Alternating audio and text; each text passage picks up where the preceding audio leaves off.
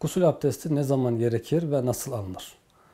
Gusül abdesti şu beş hususta farzdır. Bir, erkek ve kadının münasebette bulunması. Yani e, sünnet yerinin geçmesinden sonra meni gelsin veya gelmesin gusül abdesti farzdır. İki, herhangi bir sebeple meninin çıkması. Herhangi bir e, sebeple meni geldiğinde gusül abdesti farzdır. Üç, ihtilam olduğunu rüyada, rüya görerek meni geldiğinde gusül abdesti farzdır.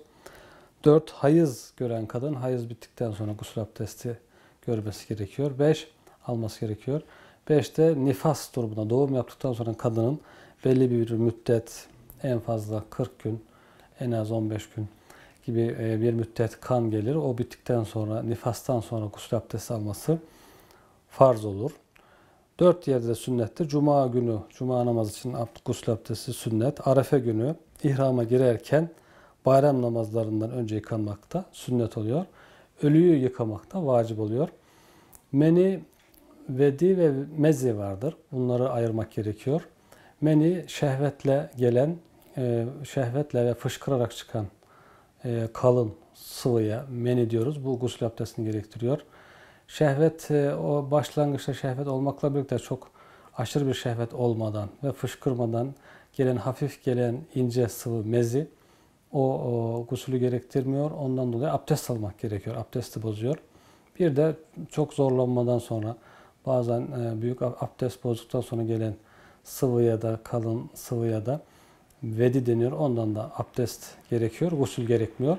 Gusül abdest için önce eller yıkanır. Eller e, yıkadıktan sonra avret mahalli yıkanır, temizlenir. Ondan sonra eller sabunlanır yıkandıktan sonra. Namaz abdesti gibi bir abdest alınır. Daha sonra baş başın sağ tarafına su dökülür. Daha sonra sol tarafına su dökülür. Sonra da başın ortasından aşağıya doğru su dökülür. Daha sonra da sağ omuzdan ve sol omuzdan su dökülerek bütün vücuda suyun ulaşması sağlanır. Bu şekilde gusül abdesti alınmış olunur. Gusül abdestinde ağzı yıkamak, çalkalamak, burnu yıkamak, buruna su alıp burnu temizlemek ve vücudun her tarafına suyu bir defa ulaştırmak farzdır.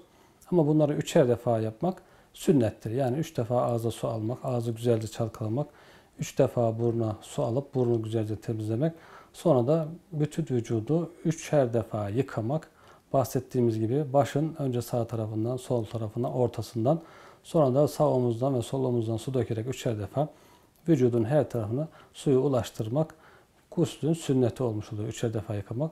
Bu şekilde gusül alındığında e, sünnete uygun bir gusül alınmış olunur.